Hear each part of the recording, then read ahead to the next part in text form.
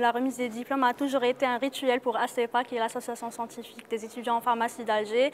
J'ai eu le plaisir d'être la vice-présidente chargée des relations publiques de cette même association.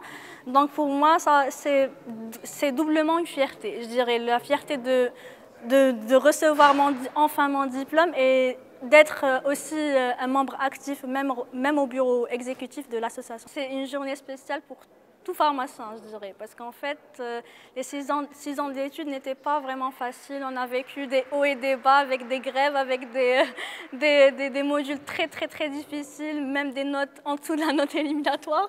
Mais on est encore là, on a eu, on peut dire maintenant, finalement, qu'on a, qu'on a réussi, on est, on est arrivé au point qu'on voulait. Inch'Allah, maintenant, avec, euh, on, va, on va dire que le, le, pharmacien a été revalorisé par, le, par la création du ministère de l'Industrie pharmaceutique.